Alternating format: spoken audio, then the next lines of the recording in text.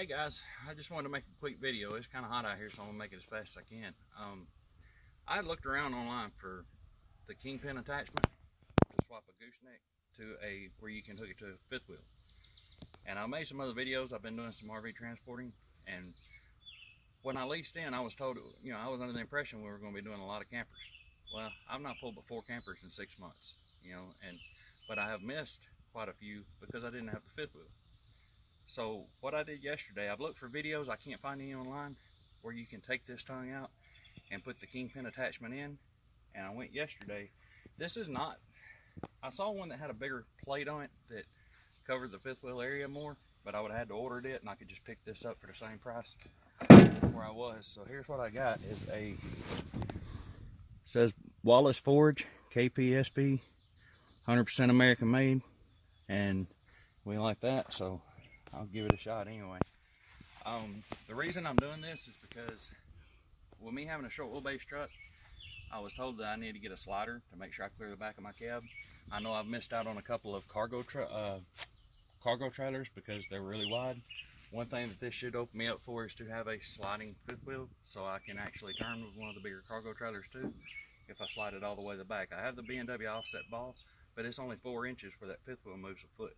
So anyway, I'm gonna go ahead and get started. If you've never changed one of these out before, loosen this nut. And this is my thing. I would have to get in there and lift that 200 pound hitch out and move it back when I don't really have that much room in a short bed. This just seemed to be easier versus moving the hitch.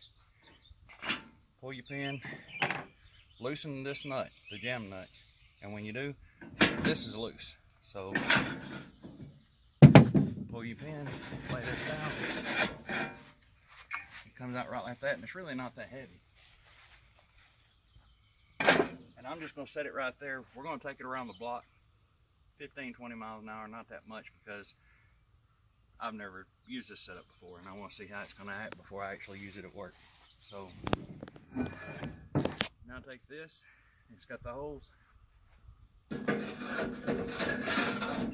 I'm going to the highest position just to, just to see how it works out.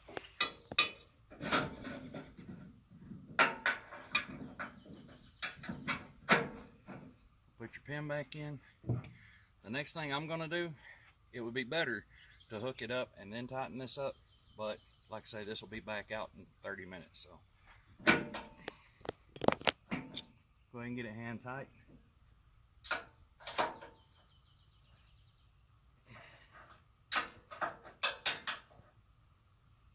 And that thing doesn't have to be, in my experience, super, super tight. There is a torque specification on it. I don't know what this is, but of all the ones that I've used, they've not been that tight, not terribly tight. And I did have to take this one out, and if you over tighten it, you'll mushroom it. I like to never get that out. So we'll go ahead and get her hooked up then.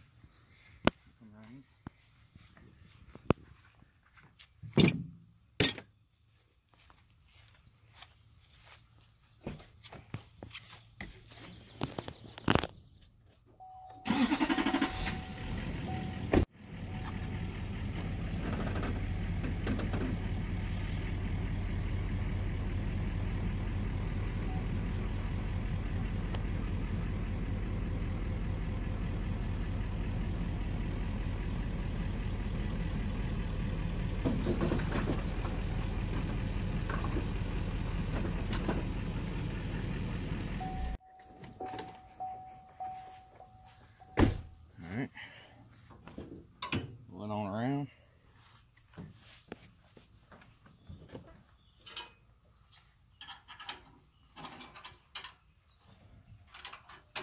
Oh man. Got that locked in. Now somebody in the comments could tell me, I'm gonna ask around before I actually go down the road very far with this. But I'm thinking, I've never seen a fifth wheel with safety chains on it. When I'm seeing them sitting around, setting out, and they didn't put anywhere to hook the safety chains. So I'm assuming when you do this, I'm not really sure what to do with my chains, just for the time being. I'm gonna hook them right here. So.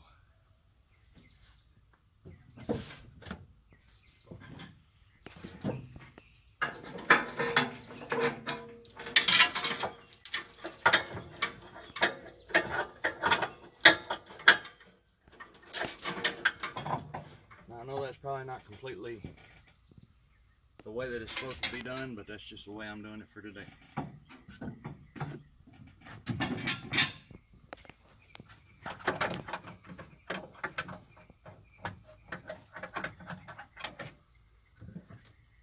And I did have a carabiner back here for this, and I've moved it.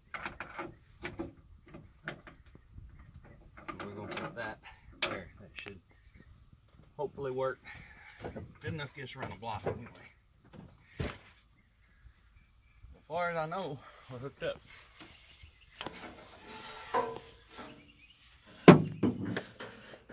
Raise the jacks up. Get this hooked up.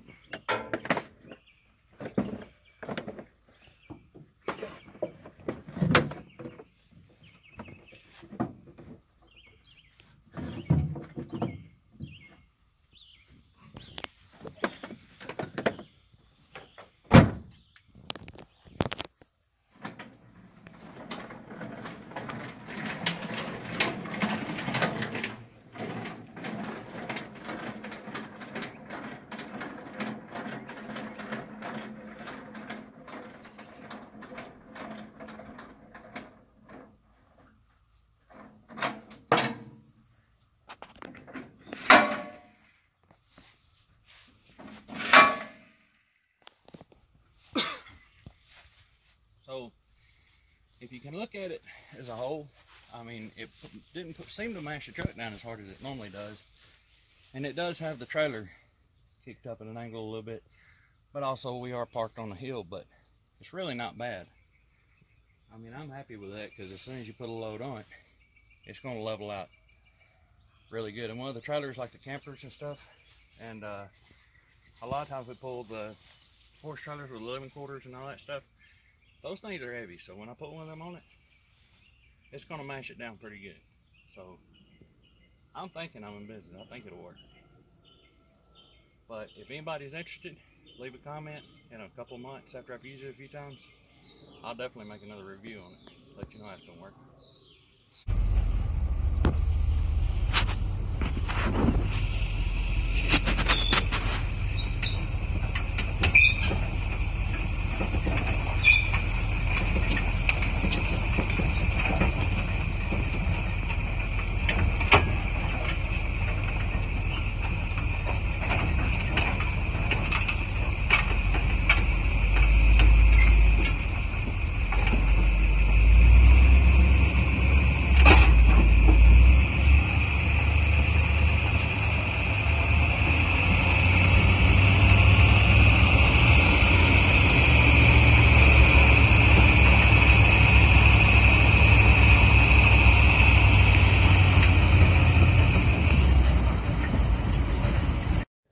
Okay guys, so we made it around the block and came back and it was a whole lot better ride to me, what I thought, than what I've been pulling with the, you know, when I pulled it before the gooseneck. It, I don't know what the difference was, but it just seemed better. But I'm really happy with it so far. And you can see the trailer is kind of setting up, but it's not enough to matter. Know, if you do put a load on it, or if that was a fifth wheel, can you know, one of the horse trailers with living quarters is what we've been pulling the most of. And whenever you put it on, it's going to push down on it enough that it's going to take it. I think I'm going to be fine. But if I do run into any issues with it, I will make another video. Anyway, um, thank you guys for watching. And I hope this helps someone because like I say, I looked for, looked all over and I could find reviews on the Kingpin adapter, but I didn't find any where anyone was actually using them. So hope this helps. All right, thanks.